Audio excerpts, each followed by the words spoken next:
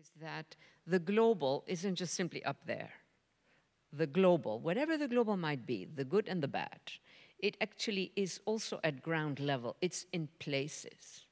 And so my global city model was also about that, that even when you're dealing with finance, in other words, a highly digitized sector, it needs anchors. And those anchors are also sites where we can engage, we can contest, we can, so to me this is extremely important. Now a second element that, that really comes also out of the DiEM project, which I find very important, is that there is an enormous amount of recurrence of certain issues, what you were also saying, in many, many very different parts of the world. And if we just think of DiEM, Europe, etc., though I'm hoping it will go, you know, further than Europe, really, that there are extraordinary possibilities for resonances of issues that are happening everywhere. And so if I wanted to bring in a couple of master images to sort of capture the particularity of this period, eh, which is, we have long had capitalism, but I always like to say that the capitalism that we had after World War II was exploitative, it was extractive, but it also was an ironic capitalism because insofar as mass consumption was the dominant sort of logic, it meant that even the nastiest corporation wanted uh, for the middle classes to do a bit better, for the sons and daughters of the middle classes and the working classes to do a bit better. So it was, in that sense, sort of an ironic capitalism that breaks. That breaks in the 1980s, basically, with globalization, uh, uh, deregulation, privatization, all terms I think that we're familiar with here. And then you have the emergence of a predatory logic that becomes dominant. Both when you had mass consumption as a dominant logic, and today what I argue with is predatory logic, you have all kinds of other things happening as well, but I'm talking dominant logics. Now, a predatory logic installs itself not just in very elementary and rough sectors, you know, like mining. Mining is predatory or extractive, if you want to give it.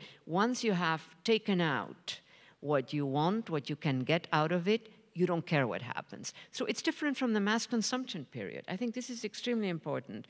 And um, Google. Sectors, you, I, once they had the platform, great platform, you know, but what did it do? It gathered information about all of us for free and sold it for a lot of money to corporations and firms. That's predatory. That's an extractive logic at work. Compare that to a car manufacturer who, when something goes wrong, they have to deal, bring back cars, etc. Look at Facebook in this period with the fake news bit or the, or the news that they didn't check. These are sectors that make billions with almost no effort. That is a very disturbing mode of economy. And again, sort of the, the I, I, call it either predatory or extractive. You can choose whatever term you prefer. So now, final point on, on DiEM. So it seems to me that one question we might want to ask is, how do complex systems change? So let's think DiEM. DiEM wants to make a significant change in how things are running, the distribution of the goodies, all of that. Uh, now, if it is the case, and I think that, that it is a case, that complex systems change not by changing everything. If you want to change everything, you have a major challenge. But if they change by just shifting certain capabilities from one type of organizing logic to another type of organizing logic, what I just described for the shift from mass consumption to the current period then you're dealing with a very different mode in which you can intervene in order to change a complex system. Now, DiEM then represents one sort of set of strands.